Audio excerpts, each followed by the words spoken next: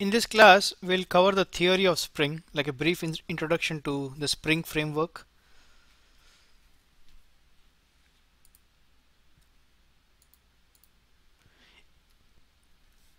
So Spring is what is called as a dependency injection container or also an IOC container. IOC stands for inversion of control. In traditional programming when you when you didn't have spring what you would do is you would create objects and if there are dependencies between objects you would include one object in another another object through either through uh, mostly through composition or association. But with spring but if you do that there is a hard hardwired dependency between objects of different classes. So in spring what you do is you do not create the objects but you just described how they should be created. You don't directly connect your components in the code, but you configure them or you wire them in a configuration file called the Spring configuration file.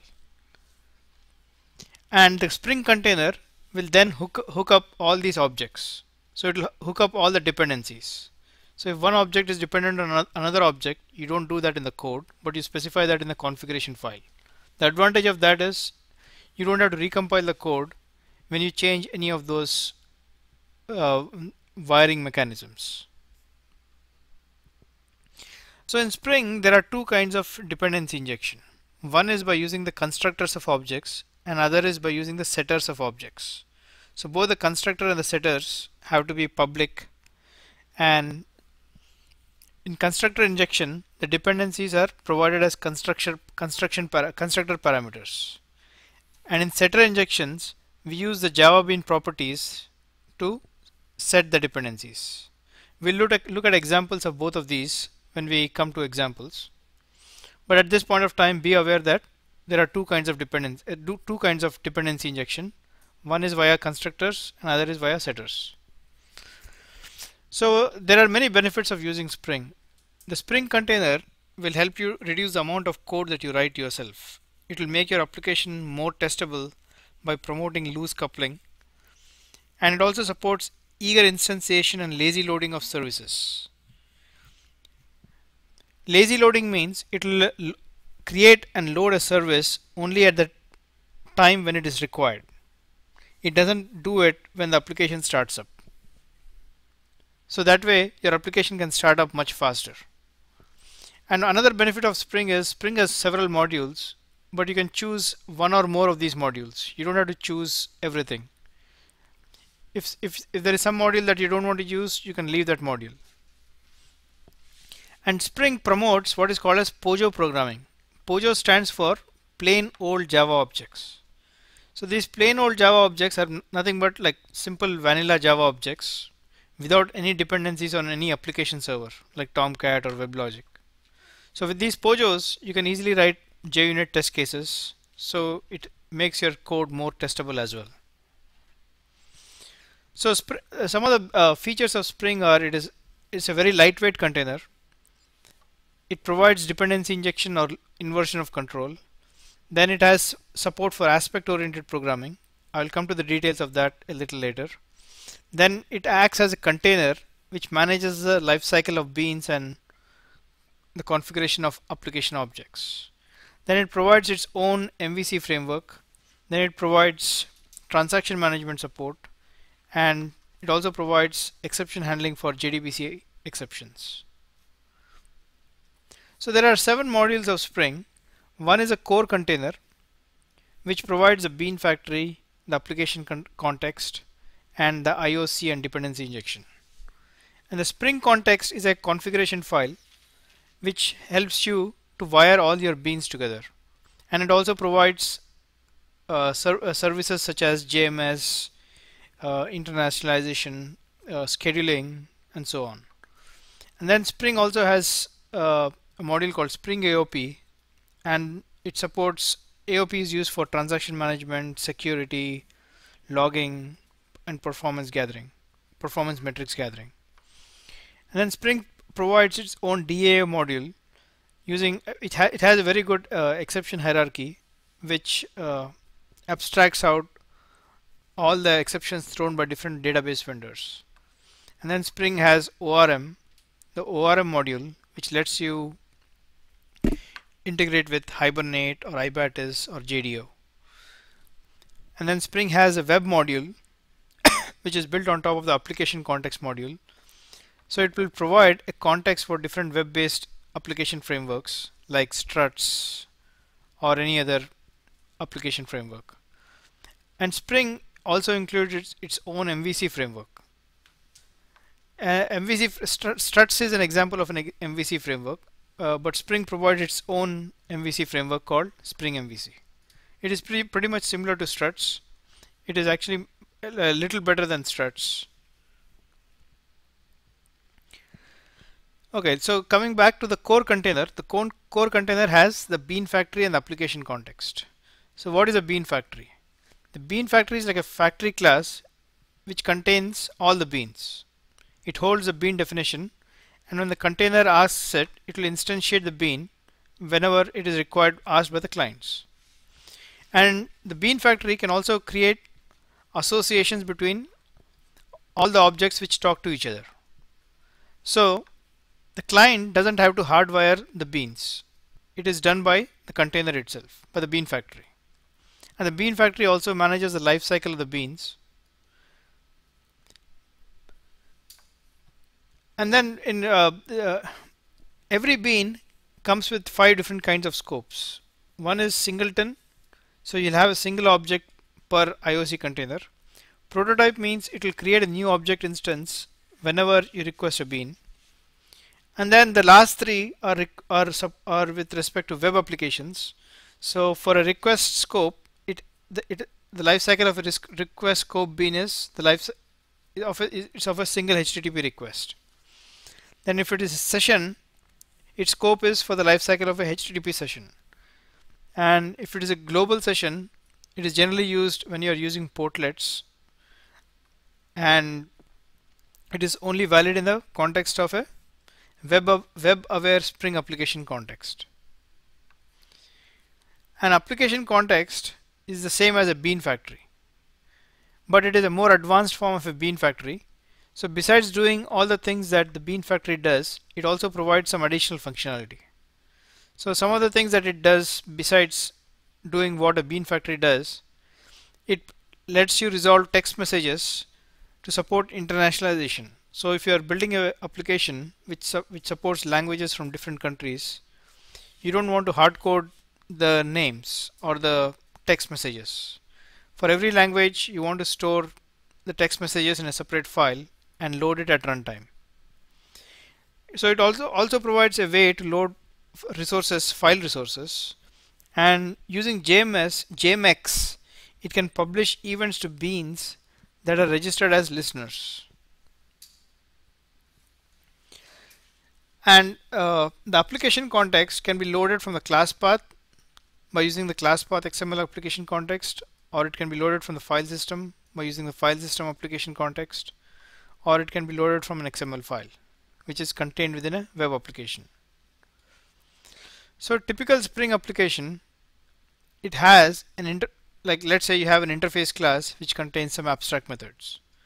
And then you could have one or more Java classes which implement the above that interface.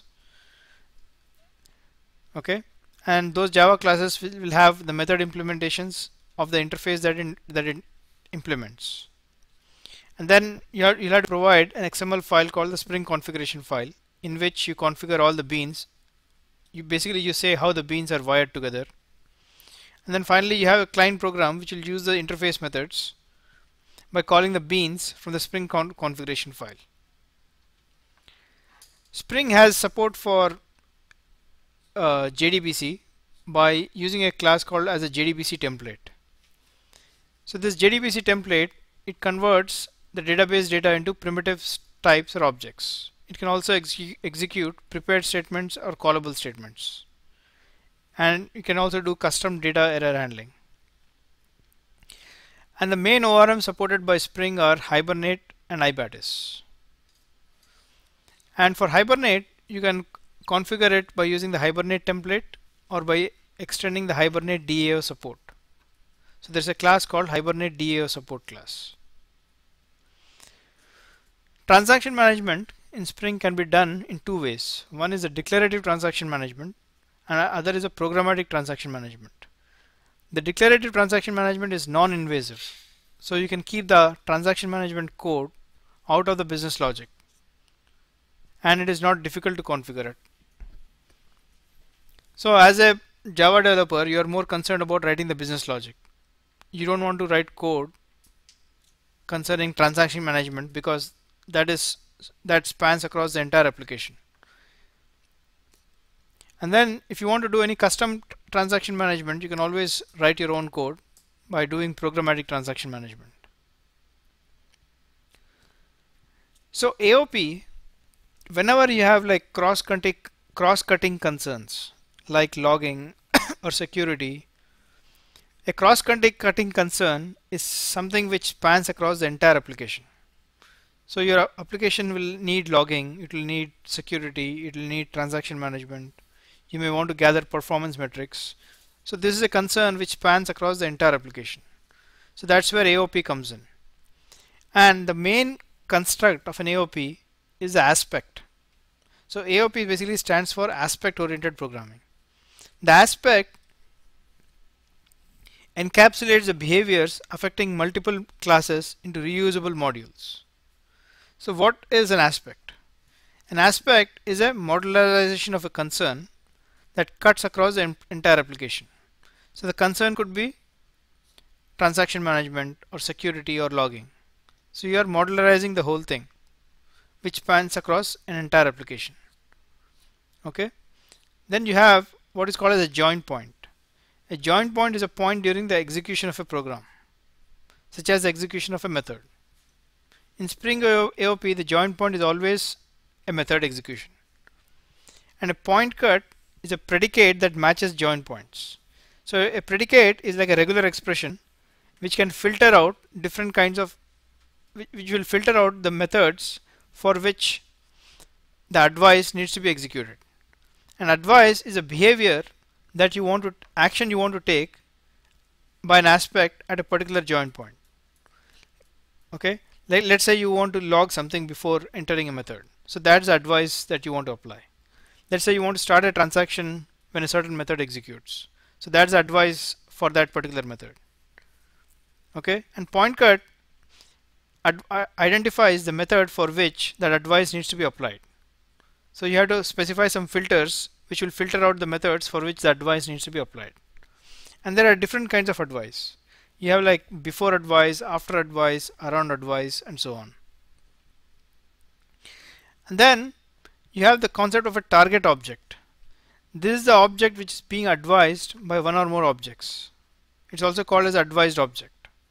And then there is a proxy object which is created by the AOP framework to implement the aspect that it that it is working on. Okay, and these aspects are linked by a process called as weaving which happens either at compile time, load time or runtime. Spring AOP generally does it, does it at runtime. And the different kinds of advice are the before advice which happens before a method is executed. After advice is after the method is executed. After throwing advice is after an exception is thrown you want to apply an advice and you can have an after finally advice which runs after the finally block of an exception of a try catch block is executed or you can have an around advice which will ha happen before a method is executed and after a method is executed. And then Spring has a concept of a web module which provides context for different web-based application frameworks like uh, Jakarta struts. So you can integrate Spring with Jakarta struts and there are two options in which you can do that do this. There is something called as a context loader plugin. So you configure spring to manage your struts actions as beans using the context loader plugin and then you set the dependencies of those actions in the spring context file or your subclass is the action support class and get your spring manage beans by using the get web application context method. And then Spring has its own MVC framework. MVC stands for Model View Controller Framework. And you can use different view technologies like JSPs or velocity or tiles. So we'll look at all uh, examples for all of these different Spring modules in the next videos.